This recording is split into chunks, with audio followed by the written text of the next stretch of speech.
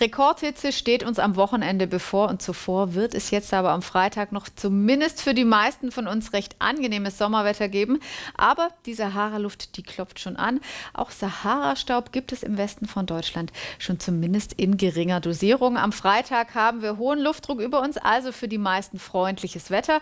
Ja, und dieses Tief vor Spanien und Portugal, das zapft eben die Sahara-Luft an und die schafft es über Frankreich dann eben auch so langsam zu uns, schwappt am Wochenende dann über ganz Deutschland. Da wird es also deutlich heißer. Und wir starten am Freitagvormittag auch mit ein paar Wolken, besonders im Westen und auch im Süden. Im Osten starten wir dagegen mit strahlendem Sonnenschein. Es ist auch erst einmal verbreitet trocken. Nur hier in Schleswig-Holstein und an der Nordsee, da kann es dann später am Nachmittag mal ein paar wenige Tropfen geben. Die Wolken sind besonders dicht. Da ist nicht mehr viel Sonnenschein dabei.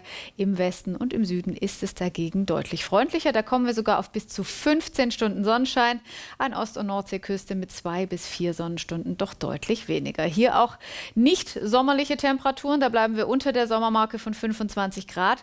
Sonst eben für die meisten noch recht angenehmes Sommerwetter mit 25 bis 28 Grad. Nur eben entlang des Rheins und an der Mosel, da kommen wir ordentlich ins Schwitzen mit 30 bis 32 Grad am Nachmittag. Aber auch in diesen Regionen kann man sich dann auf den Abend freuen. Da gehen die Temperaturen zurück und es gibt weiterhin jede Menge Sonnenschein, besonders im Westen und im Süden. Die dichteren Wolken hier im Nordosten, die verziehen sich allmählich. Regen ist dann auch nicht mehr dabei. Und wie schon angesprochen, wir haben eben angenehme Abendtemperaturen, meist so zwischen 20 und 25 Grad. Grad und auch im Westen kann man es bei 26 oder 27 Grad lange angenehm draußen aushalten. Also einem Grillabend zum Start ins Wochenende steht nichts bevor. Am Samstag wird es dann nämlich ungemütlich heiß mit bis zu 38 Grad im Südwesten. Jede Menge Sonnenschein, nur an den Küsten ist es angenehmer.